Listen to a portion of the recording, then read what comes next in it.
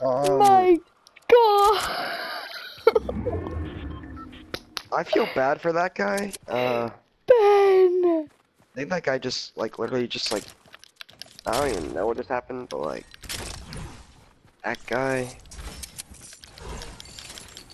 Oh my god, that guy just got sniped out of the air. I mean.